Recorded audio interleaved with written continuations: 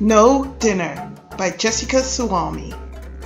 There was once an old woman who lived at the edge of a big forest with her little dog. She was so bent and frail that she was nothing but skin and bone.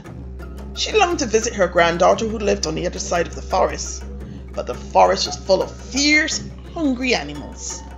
Nevertheless, one day she said goodbye to her little dog and set off with her walking stick to cross the forest, sure that she would be home again soon, happy and fat.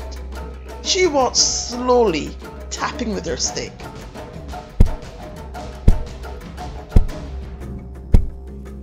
To goot, to goot, when suddenly, boom! Out jumped a wolf. Old woman, I'm going to eat you up. Very well, said the old woman. But look at me. I'm all skin and bone. I'm on my way to my granddaughter's house, where I'll get nice and fat. Why don't you eat me on my way home? All right, said the wolf. But don't be too long. I'm hungry. And the wolf disappeared, and on she walked. Her stick went to goo, to goo, to goo. But then out came a bear. Old woman, I'm going to eat you up. Very well, said the old woman. But look at me. I'm all skin and bone. I'm on my way to my granddaughter's house, where I'll get nice and fat. Why don't you eat me on my way home? All right, said the bear. But don't be too long. I'm hungry. And the bear disappeared. And on walked the old woman, and her stick went until out jumped a tiger. Old woman, I'm gonna eat you up. Very well, said the old woman. But look at me. I'm all skin and bone. I'm on my way to my granddaughter's house where I'll get nice and fat. Why don't you eat me on my way home? All right, said the tiger. But don't be too long. I'm hungry. And the tiger disappeared and on she walked, and her stick went to goo, to goo, to goo, until at last she reached her granddaughter's house. Her granddaughter was surprised and happy to see her. She gave her grandmother the most delicious food, and the old woman ate and ate and ate. Granny, said her granddaughter at last, if you eat one more thing, you will burst. The old woman laughed. That's true, she said. And now I'm nice and fat. The animals in the forest will want to eat me. How can I get home safely? Don't worry, Granny, said her granddaughter. I have a plan. Here's a huge red pumpkin. I'll cut off the top and scoop out the middle so you will fit inside.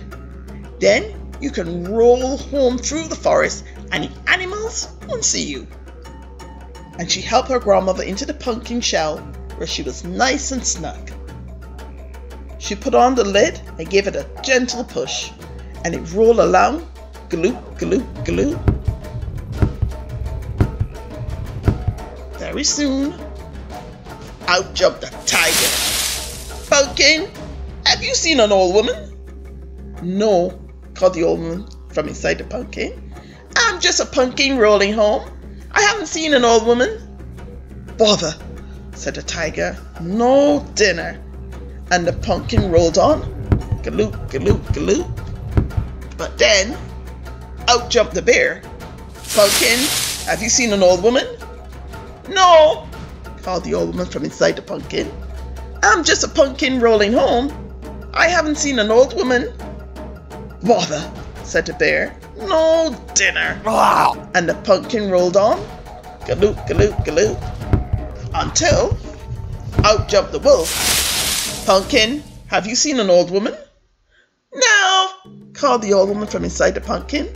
I'm just a pumpkin rolling home. I haven't seen an old woman. Bother, ah. said the wolf. No dinner. But then, as the pumpkin was about to roll on, just a minute, said the wolf. I've never heard of talking pumpkin. And he lifted the lid from the top of the pumpkin, and out popped the old woman's head. Very well, she said. You can eat me now, but first, I have to tell you that I didn't get nice and fat at my granddaughter's house. Not at all. I'm still just skin and bone. Show me, said the wolf. Your leg for me to feel. And the crafty old woman poked out not her leg, but a walking stick. And the wolf felt that. Bother, ah. he said. Hard as bone. Not nice and fat at all. Bother, bother, bother, bother. No dinner. And he pushed the pumpkin in disgust. And the pumpkin rolled along, galoot, galoot, galoot, until it reached her house on the far side of the forest. The clever old woman got out of the pumpkin shell happy and fat and safe. And the little dog ran to meet her, wagging his tail. And that is the end of the story.